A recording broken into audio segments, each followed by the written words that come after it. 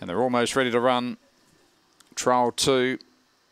Racing, jumping quickly in the middle was West on Fleur. Also showing speed out wide was Shinboner, who works across to second up on the inside. Hello I'm Bugsy. And then in behind them, next of all, getting uh, Turned sideways, Daz decision. And now last is Cool North after being checked, but down the back and West on Fleur missed the trouble. Race clear, out by eight lengths on Hello I'm Bugsy. Well back behind them. Next was Shinboner, Daz decision, and also Cool North, but on the corner. And West on Fleur doing everything nicely for Holst. Races clear, wins by eight lengths on Hello I'm Bugsy. A long gap then to Shinboner, Cool North, and last in Daz decision, 29.99.